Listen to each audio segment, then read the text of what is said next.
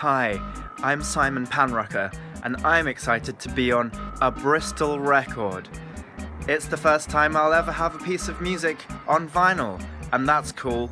But listen, there's other artists on the record as well who are great.